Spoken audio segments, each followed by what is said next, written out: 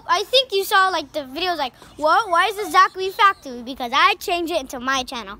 We this is the first this is the first this is this is the first trailer we made, but next year we'll probably make a new one. So every what's today? August 30th?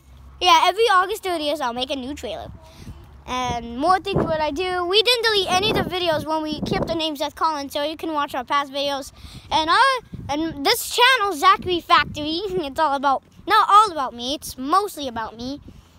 And it's all about like mostly gaming and random videos like film the road and yeah and it's um all about me doing on the bikes on the RC car and here we go to the other side. I'll end it on the other side and make the first video of Zachary Factory so bye